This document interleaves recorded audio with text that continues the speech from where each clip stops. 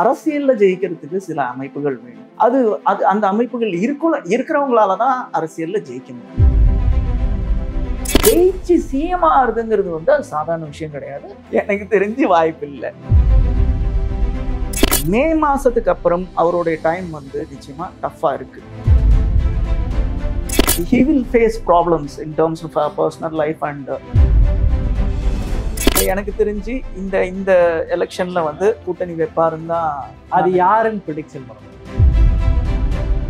அவரோட ராசிப்படி மூணாம் இடத்துல சந்திரனுக்கு மூணாம் இடத்துல ராகு போய் உட்கார்ந்துருக்கு. அப்படி ராகு போய் உட்கார்ந்துருக்கும் போது ஒரு ஸ்திரமான டெசிஷனை எடுக்கக்கூடிய பர்சனா அவங்க இருக்க மாட்டாங்க.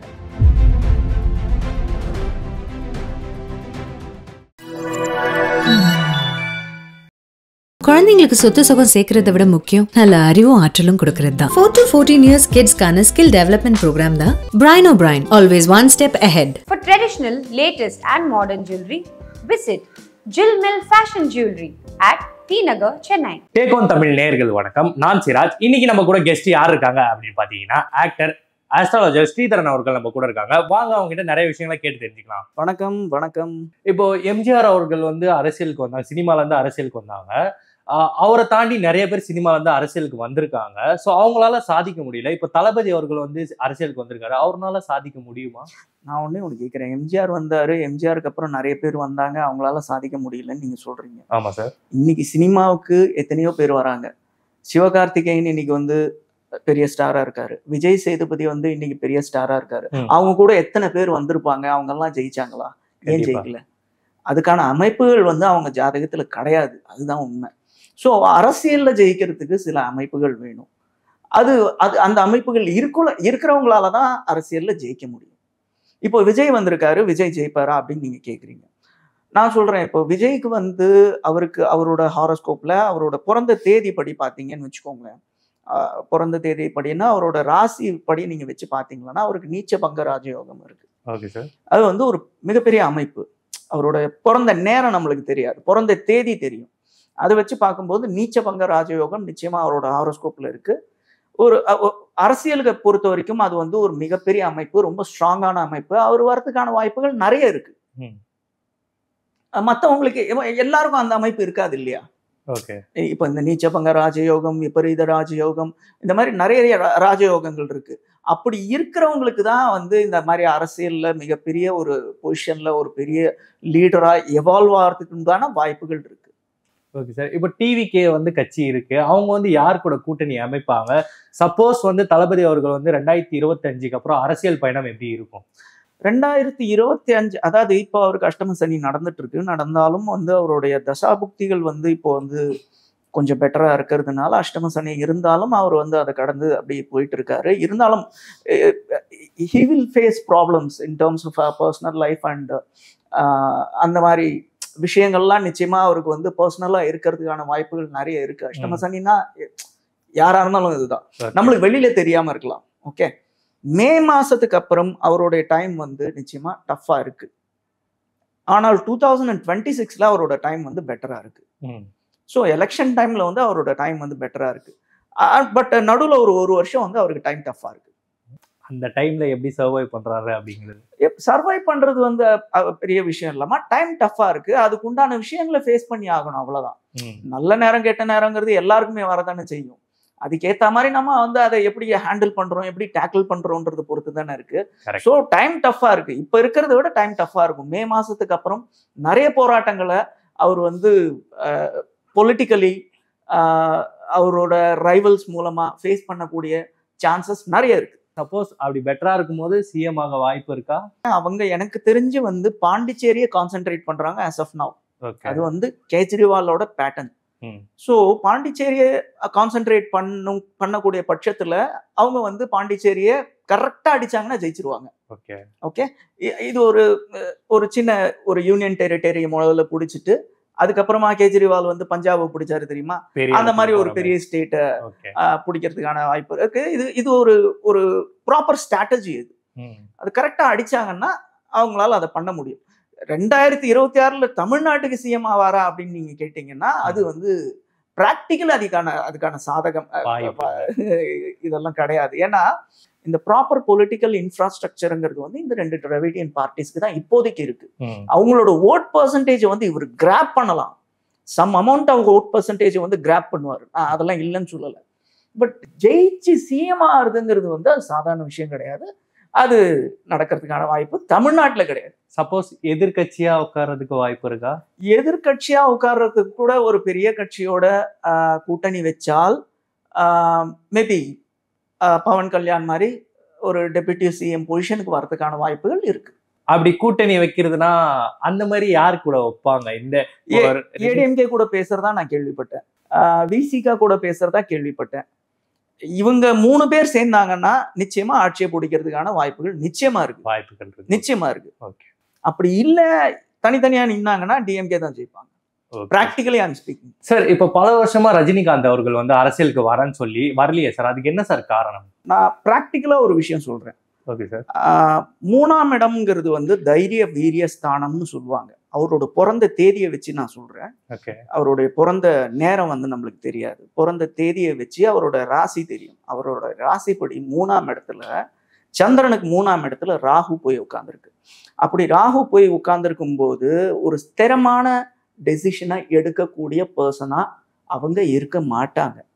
அவங்க அவரோட ஹாரோஸ்கோப் வந்து பவர்ஃபுல் ஹாரோஸ்கோப் அவர் அரசியலுக்கு வந்திருந்தாருன்னா ஜெயி ஜெயிக்க கூட செஞ்சிருக்கலாம்.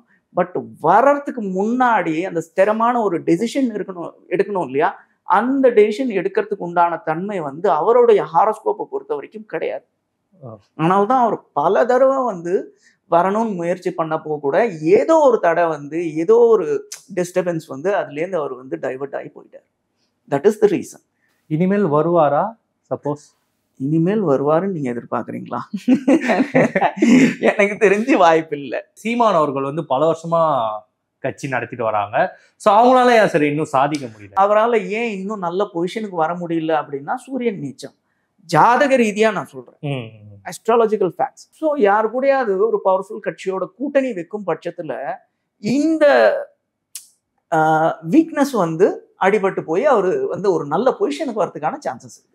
ஓகே அவரு தான் இப்ப யாரு கூட்டணி வைக்கிறது இல்ல வைப்பாருன்னு நினைக்கிறேன். இந்த எனக்கு தெரிஞ்சு இந்த இந்த எலெக்ஷன்ல வந்து கண்டிப்பா கூட்டணி வைப்பாருன்னு தான் அது யாருன்னு ப்ரிடிக்ஷன் பண்ண முடியுமா? யாருன்னு ப்ரெடிக்ட் பண்ண முடியுமான்னு கேட்டிங்கன்னா எனக்கு வந்து ஏடிஎம்கே கூட இருக்கிறதுக்கான வாய்ப்புகள் ரொம்ப கம்மி. ஏன்னா அவங்க ஆல்ரெடி டிவிகே கூட பேசிட்டு இருக்காங்க. ஓகே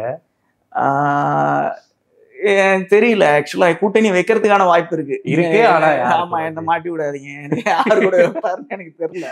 சரி இப்போ வந்து ஐபிஎல் மேட்ச் வரப்போகுது. டுவெண்ட்டி டுவெண்ட்டி ஃபைவ்க்கான ஐபிஎல் மேட்ச் வரப்போகுது.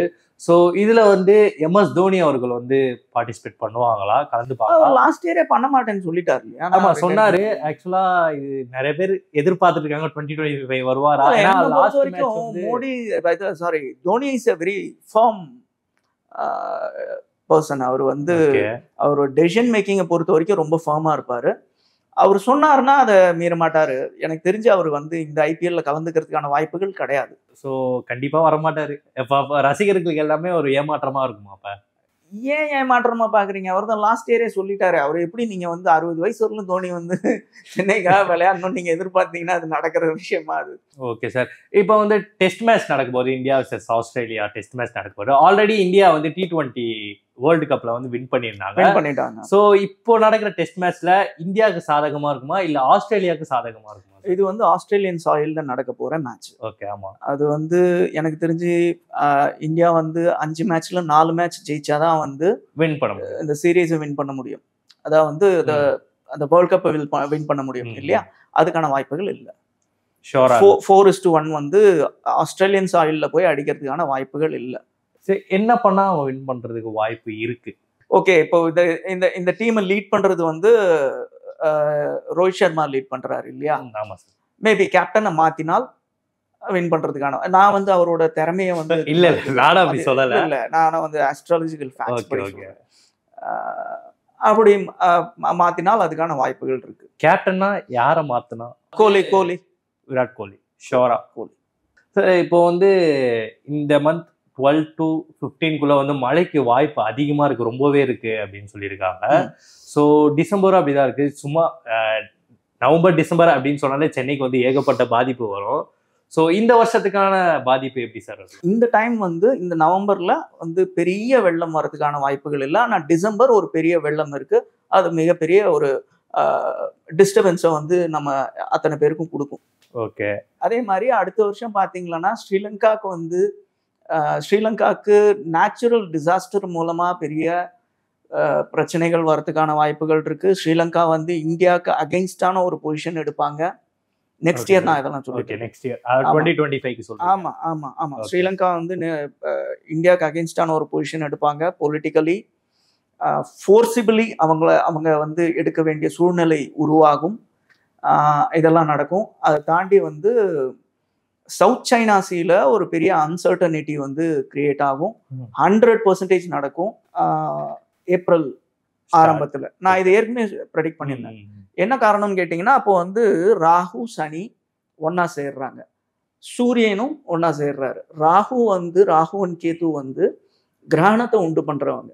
சூரியன் மூலமா தான் அந்த வந்து ஒளியை வாங்கி தன்னுடைய காஸ்மிக் எனர்ஜியை பூமிக்கு ரேடியேட் பண்றதா வந்து ஜோ ஜோதிட சாஸ்திரம் வந்து சொல்லுது. பட் இந்த ராகு கேது வந்து சூரியனோட போய் கம்ப்ளீட்டா சேரும்போது சூரியனோட பவரையே வந்து கட்டுப்படுத்திடுவாங்க so it must be dark period அந்த டைம் வந்து. அது வந்து மேபி ஒரு பிரச்சனை ஒரு பெரிய பிரச்சனை உருவாகிறதுக்கு உண்டான ஒரு புள்ளையார் சுழி போடுறதுக்கான பீரியடா பீரியடா இருக்கலாம். ஓகே. அதே சமயத்துல மெர்க்யூரி போயிட்டு நீச்சமாகி வக்கரமாகி ராகு கே- சனியோட உட்கார்ந்துருக்காரு. கேதுவோட பார்வையை வாங்குறாரு. ஸோ அப்படி இருக்கும் பட்சத்துல மார்க்கெட்ல மிகப்பெரிய கிராஷ் வரும். கடந்த ஒரு ஐம்பது வருஷத்துல யார் வந்து இந்த ஆயில் அண்ட் கேஸ்ல வந்து கோலோச்சி இருந்தாங்களோ அவங்க தான் ஃபினான்ஷியல் சூப்பர் பவரா இருந்தாங்க. ஓகே அடுத்த ஐம்பது வருஷம் பார்த்தீங்கன்னா யார் செமிகண்டக்டர்ஸ் அந்த மேனுஃபேக்சரிங்ல வந்து கோலோச்சி இருக்காங்களோ அவங்க தான் சூப்பர் பவரா இருப்பாங்க. அப்படி இருக்கும் பட்சத்துல சைனாக்கு வந்து சைனா மாதிரி ஒரு மிகப்பெரிய மேனுஃபேக்சரிங் ஹப்புக்கு வந்து நீங்க இந்த செமிகண்டக்டர்ஸ் போறதை வந்து நிறுத்துனீங்கன்னா டோட்டல். சப்ளை செயின் கட் ஆகும். அது சைனாவை வந்து மிகப்பெரிய அளவுல ப்ரொவோக் பண்ணும். ம். அது வந்து ஒரு பெரிய வாருக்கு வாரா உண்டான. வாருக்கு உண்டான அஸ்திவாரமா மாறும். ட்ரம்ப் சொல்றாரு நான் வந்து எங்க ஆளுங்க வெளியில எல்லாம் போய் சண்டை போட மாட்டாங்க பட் ஃபோர்சிபிளா நடந்ததுன்னா ஒண்ணுமே பண்ண முடியாது. ம். ஜஸ்ட் இமேஜின் ஒருவேளை சவுத் சைனா சீல போர் ஆரம்பிச்சதுன்னா சவுத் சைனா சீல யூஎஸ்ஆல சைனா ஃபேஸ் பண்ண முடியாது. சைனா வந்து ரொம்ப ஸ்ட்ராங்கா இருக்காங்க. சவுத் சைனா சீயை பொறுத்த வரைக்கும் சைனா இஸ் வெரி ஸ்ட்ராங் யூஎஸ்ஆல எங்கிருந்தோ வந்தெல்லாம் சண்டை போட முடியாது. அதுக்கு அவங்களுக்கு இந்தியாவோட ஹெல்ப் தேவை. இந்தியாவை வந்து நீங்க இந்த சைட்லேருந்து அட்டாக் பண்ணுங்க. இது டூ ஃப்ரண்ட் வாரா மாறட்டும்னு சொல்ல சொல்லி ஃபோர்ஸ் பண்றதுக்கான வாய்ப்பு இருக்கு. Okay. அதுவும் ட்ரம்ப் மாதிரி ஒரு அன்பிரடிக்டபிள் பர்சன் இருக்கும்போது இதெல்லாம் வந்து அவர் பண்ணுவார். ஸோ அப்படி ஆச்சுன்னா நீங்க ஜஸ்ட் இமேஜின் பண்ணி பாருங்க. அது எ- எவ்வளவு பெரிய பிரச்சனைக்கு உண்டான ஒரு ஆரம்பமா இருக்கும். ஓகே. ஸோ இதெல்லாம் நடக்கிறதுக்கான சான்சஸ் அந்த மார்ச் ஏப்ரல் வாக்குல இருக்கு. Okay sir. ஆரம்பிக்கிறதுக்கான okay sir. Sir இப்போ ரிலேஷன் அப்படின்னு எடுத்துக்கிட்டீங்கனாலே வந்து இப்போ ஒரு பொண்ணு பார்க்கறதா இருக்கட்டும் பையனை பார்க்கறதா இருக்கட்டும். நீங்க ரிலேஷன்ஷிப்ல இருக்கீங்களா? டக்குனு கேட்டா என்ன சார் சொல்றது இப்ப. நீங்க- ஒரு கணிப்பு வச்சிருப்பீங்களா இப்போ நான் வந்து ரிலேஷன்ஷிப்ல இருப்பேனா அப்படின்னு. நீங்க நினைக்கிறீங்க? ஜாதகம் தெரியாது நான் வந்து ஃபேஸ் ரீடிங் வச்சு சொல்ல முடியாதுல்ல. நீங்க இருக்கீங்களா இல்லையான்னு சொல்லுங்க. இல்ல உங்க டேட் ஆஃப் பர்த் என்னன்னு சொல்லுங்க. அதை வச்சு நான் ஓரளவுக்கு நான் சரி ஓகே நான் டேட் ஆஃப் பர்த் சொல்றேன் சார். சொல்லுங்க. Two thousand one date of birth அதாவது ten seven two thousand one ten seven two thousand two thousand one ten seven eight two thousand ஒன்னுங்கிறது வந்து த்ரீ பதினொன்று ரெண்டு. So you must be in terms of relationship டாமினண்ட்டாக இருப்பீங்க. Highly எமோஷ்னலாக இருப்பீங்க. பொசசிவாக இருப்பீங்க. இதெல்லாம் இருக்கு. ஓகே எனக்கு தெரிஞ்சு நீங்க இப்போ ரிலேஷன்ஷிப்ல இருக்கீங்க? ஓகே ஓகேவா ரிலேஷன்ஷிப்ல இருக்கீங்க. உங்களுக்கு இப்போ வந்து உங்களோட ரிலேஷன்ஷிப்பை பொறுத்த வரைக்கும் சில விஷயங்கள் வந்து கேட்டு தெரிஞ்சுக்கணுன்ற டவுட்டும் இருக்கு. மைண்ட்ல வச்சதெல்லாம் ரீட் பண்றாரு அப்படியே உட்காந்து அப்படியா இல்லையா? ஓகே கரெக்ட் ஏன்னா ஹைலி பொசசிவா இருக்கிறவங்க இந்த ஒரு அஸ்ட்ராலஜரை மாதிரி மீட் பண்ணும்போது சார் எனக்கு வந்து அவங்க கரெக்டா இருப்பாங்களா சார்? என்ன வந்து விட்டுட்டு போக மாட்டாங்களா சார்? அப்படின்லாம் கேட்பாங்க. ஏன்னா ரெண்டு வந்து சந்திரனோட நம்பர் சந்திரன். வந்து உங்களுக்கு டோட்டல் ரெண்டு வருது இல்லையா? சந்திரன். சந்திரன் வந்து ஹைலி எமோஷனல் சூரியன் வந்து ஹைலி டாமினன்ட் ஸோ நீங்கள் வந்து ரிலேஷன்ஷிப்பை பொறுத்த வரைக்கும் டாமினண்ட்டாகவும் இருக்கணும்னு நினைப்பீங்க. ஹைலி எமோஷனல் கூட. ஹைலி பொசசிவ் கூட. ஓகே சார் இப்போ வந்து நிறைய ஆஸ்திரேலியர் கிட்ட போய் என்ன சொல்றாங்கன்னா இப்போ இந்த கேரக்டருக்கு வந்து இனிஷியல் வச்சு ஒரு மாப்பிள்ளை அமைக்கிறாங்க பொண்ணு அமைக்கிறாங்கன்னு சொல்லிட்டு நிறைய ஆஸ்திரேலியர் சொல்றாங்க. அதை பத்தி என்ன சார் நினைக்கிறீங்க? அது உண்மையா இல்ல? நிறைய பேர் என்கிட்டயே கேக்குறாங்க. சின்ன பசங்க கேக்குறாங்க. அது வந்து கொஞ்சம் மெச்சூர்டா இருக்கிறவங்க கேட்க மாட்டாங்க. என்னன்னா ஒரு விஷயம் நீங்க நல்லா புரிஞ்சுக்கணும். பராசர முனிவரா இருக்கட்டும் அகத்திய முனிவரா இருக்கட்டும் ஆஹ் போகரா இருக்கட்டும் புலிப்பாணி சித்தரா இருக்கட்டும் வராக ம- ஆஹ் மகரிஷியா இருக்கட்டும் இவங்கெல்லாம் வந்து ஜோதிட சாஸ்திரத்தை பத்தி குறிப்புகள் கொடுக்கும்போது இங்கிலீஷ்ன்ற மொழியே கிடையாது. இங்கிலீஷ் ஆல்பபெட்ஸ் கிடையாது. அப்போ எதை வச்சு எதை பேஸ் பண்ணி உங்களுக்கு இந்த ஜாத இந்த லக்னம் இந்த ராசி இருக்கு உங்களுக்கு இந்த லெட்டர்ல வந்து உங்களுக்கு ஒரு ஜோடி அமையும். அப்படின்றது சொல் எப்படி லாஜிக்கலி எப்படி பாசிபிள் கரெக்ட் அது வந்து பாசிபிலிட்டிஸே கிடையாது. அப்படி சொல்றவங்களாம் நம்ப கூடாது. நிறைய. பேர் அதை நோக்கி தான் போயிட்டு இருக்காங்க இப்போ மக்கள்லாம் நிறைய பேர். இல்ல அது நிறைய பேர் இப்போ சின்ன பசங்க நிறைய பேர் வந்து ரிலேஷன்ஷிப்ல இன்வால்வ் ஆகுறாங்க. அவங்களுக்கு. அஸ்ட்ராலஜி பத்தி டிப்ரெஷன்ஸ் இல்ல. அவங்களுக்கு அஸ்ட்ராலஜி பத்தி ஓரளவுக்கு நாலேஜ் இருக்கும். கொஞ்சம் வயசாச்சுன்னா அவங்க அவங்களுக்கே அந்த மெச்சூரிட்டி வந்துரும். ம். இது வந்து பாசிபிலிட்டி இல்ல அப்படிங்கிறது தெரிஞ்சிரும். அஸ்ட்ராலஜியை பொறுத்த வரைக்கும் எதெல்லாம் பண்ண முடியும் எதெல்லாம் இப்போ உங்களோ நீங்க இப்போ ஒரு ரிலேஷன்ஷிப்ல இருக்கீங்க அப்படின்னு வச்சுக்கோங்களேன் ஒரு எக்ஸாம்பிளுக்கு உங்களோட பார்ட்னரோட ஹாரோஸ்கோப் நீங்க என்கிட்ட காமிச்சீங்கன்னா நான் கரெக்டா சொல்லிடுவேன். இது வந்து இவங்க வந்து ட்ரஸ்ட் வர்தி பர்சனா நீங்க இவங்கள நம்பலாமா? கல்யாணம் பண்ணிக்கலாமா? இவங்க வந்து கடைசி வரலும் உங்களுக்கு உண்மையா இருப்பாங்களா? அப்படிங்கறத சொல்ல முடியும். ஒருத்தருடைய ஹாரோஸ்கோப் வச்சு. அதே மாதிரி உங்களோட பார்ட்னர் வந்து உங்களோட ஹாரோஸ்கோப் வச்சு காட்டினா கேட்டாங்கன்னு வச்சுக்கோங்களேன் அதையும் என்னால. சொல்ல முடியும். சொல்ல முடியும். ஒரு ஹாரோஸ்கோப் வச்சு அதை சொல்ல முடியும்.